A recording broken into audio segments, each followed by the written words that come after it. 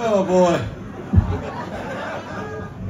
I've been doing this now for 55 years, and I'm a little fucked up in the head from it, but I'm having a ball. Going down, Mikey!